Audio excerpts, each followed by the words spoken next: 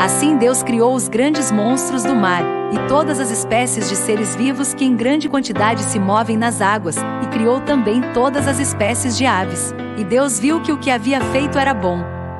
Deus fez tudo de forma perfeita: os animais, a natureza e você. Por isso, creia que você pode ser bom em tudo o que faz, pois Ele o criou de forma única e especial.